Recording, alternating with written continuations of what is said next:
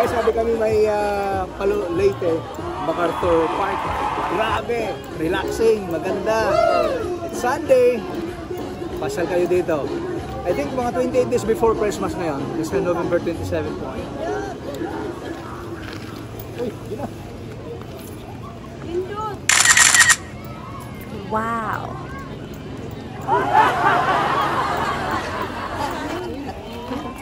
Ah, ganda naman, ganda naman. Oh, ganda naman. Yeah. What's your name? My name is Sergio. Halat, anong nga mo? First time mo dito, no? Wow!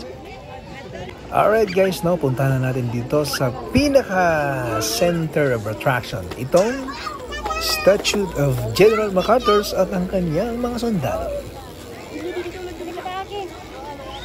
Grabe, di ba? Sobrang dami talaga ng mga namamasyal. Lalo, lalo ba't magde-Disyembre na, di ba? Ilang days na lang Disyembre na. Hmm, di ba? Ah, nakakatuwa, ang daming bata, mga nanay, sunod-sunod sa kanilang mga anak or apo, you know? At syempre, ito, from Catbalogan City to. At uh, siyempre marami rin, no? May ibang lugar. Ito, ito, from Catbalogan sila. Yan, my family, my wife, my mother so, my aunties, si Eugene and Bea. Kasama namin dito sa pharmacy. Grabe, daming tao talaga. Sobrang dami nagpapapicture, siyempre. At tuwang-tuwa yung mga bata. At alam nyo guys, no, um, meron palang time talaga dito na binubuksan yung uh, isa rin sa mga inaabangan, yung fountains. Yan. Uh, fountains with uh, lights, inaabangan talaga ng mga tao din dito. Kita mo, yun yun, daming nagtatambak ng tao, di ba? Yan, nakaabang na sila para sa pagpapailaw ng fountains na may mga, ang gaganda talaga ng mga iba't ibang ilaw. Okay? So, anytime na yan, pagpapailaw na. Naka-schedule na yan. Okay?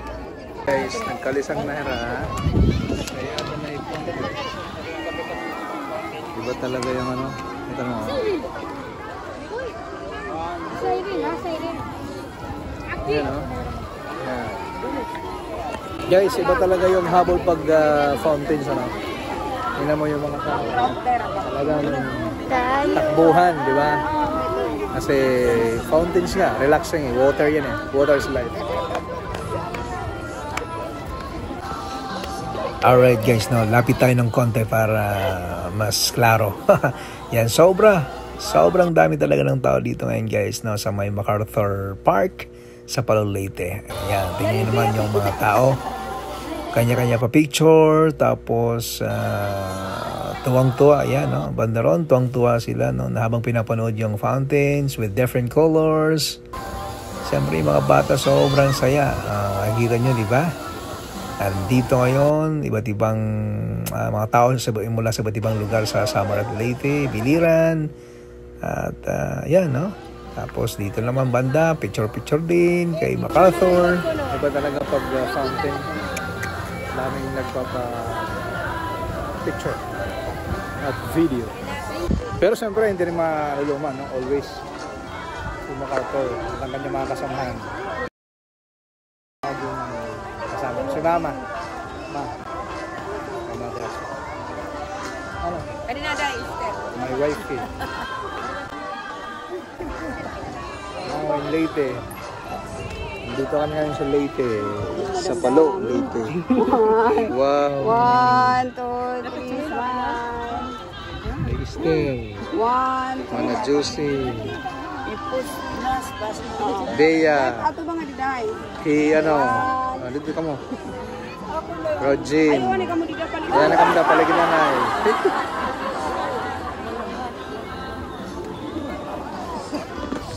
Yan guys. ah ah, third, siguro mga 28 days before Christmas. Diba? Sa Ah, sige, picture ka mo dali. Picture. Honor say. Kasi ayun, di ko may ay, pagdaraga oy, Pilipina. Yan.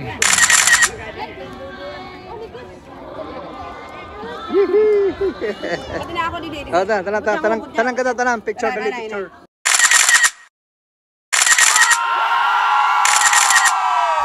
Ayan mga kaibigan, no, talagang ah, sobrang tuwang-tuwa yung mga tao dito ngayon. So, alam mo yung, yung happiness na nararamdaman talaga mula sa ating mga kababayan po na habang nagpapapicture po, kasama yung fountains. Ah, pati talaga kami nakakamanga talaga dito. Ang ganda po sa may ah, General MacArthur ah, Park, no? Dito sa Palo Leyte. Mm. Yan, no? Kanya-kanyang hawak ng phone, makapag, ma, makapapicture lang talaga. Yan, ganda ng fountains, di ba? Oh, ganda. Parang sa Katbalogan lang din, no? Na may fountain sa may Rizal Park sa plaza. Ayos. At yan guys, ang aming kabuuan sa aming pamasyal dito sa Palo Leyte. Ah, maraming salamat po sa inyong panonood. Hmm, tuwang-tuwa talaga mga kasama ko dito. Ah, kami po ay magpapaalam na. Bye-bye!